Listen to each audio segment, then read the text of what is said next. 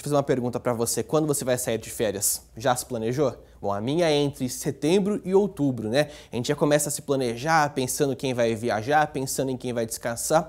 Mas tem muita gente que não se preocupa com um ponto muito importante, ó questão financeira, viu? Agora, na ponta do lápis, você vai ver que a melhor forma de usar a quantia aí sem deixar dívidas para o mês seguinte é sempre com planejamento. É que quando a gente volta para o trabalho, não tem salário, afinal ele foi antecipado, né?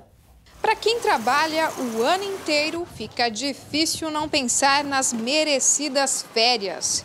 É nessa hora que surgem os planos sobre o que fazer com a quantia recebida nesse período. Estou querendo fazer uma viagem, estou ganhando uma viagem para ir para uma praia, ao sair de férias, o trabalhador recebe o salário antecipado do próximo mês, mais um terço. Só que para muita gente fica difícil resistir aos gastos, sabendo que tem dinheiro disponível na conta. E é por isso que surgem as perigosas dívidas, já que no mês seguinte não existe remuneração. Já se enrolou alguma vez de, de, usar o dinheiro sem pensar muito, sem planejar muito? Já, já sim.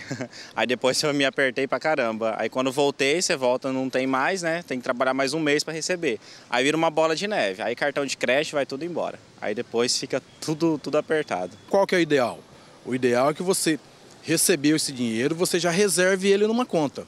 Tá? A gente aconselha que você abra uma poupança e guarde esse recurso, para que no mês que vem que você não terá o salário, o dinheiro está guardado para suas despesas e suas contas que irão vencer. Para evitar a inadimplência, a melhor saída é aplicar o dinheiro em uma poupança.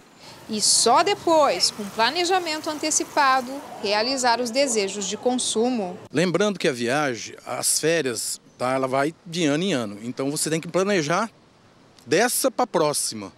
E você já tem que ir guardando esse recurso. Não sair de férias e entrar numa dívida para pagar no ano corrente.